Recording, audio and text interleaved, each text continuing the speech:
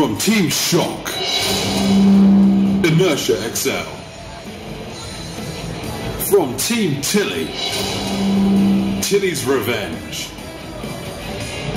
Three, two, one, We go. begin.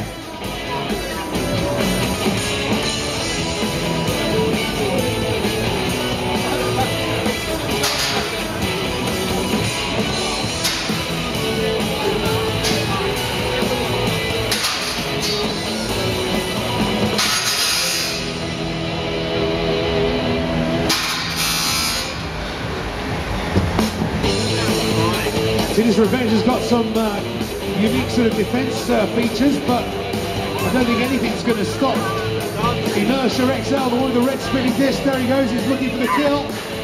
He's going in for the attack. It looks like Tilley has got a small problem. He's going in circles and they control. Can Inertia get the killer blow? He's looking for the. He's looking to attack. He's going in. He's trying to get away, but I think there's a problem with the steering. Not sure, but taking a bit of a pounding there. Inertia's just eating away at that armour. Sooner rather than later, it's going to hit something important. It could mean the end of Tilley, but Tilley's still going. And he's fighting back now. Tilley's fighting back a little bit.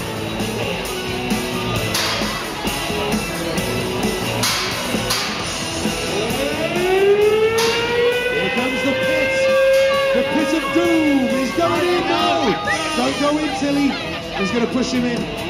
He's going in. He's going. He's. Oh! Three, He's two, got 10 seconds to get out. There's no chance of that. I think we have a clear out and out winner. That's Inertia XL, everybody. Well done. A fair win. That was pretty good. We like that.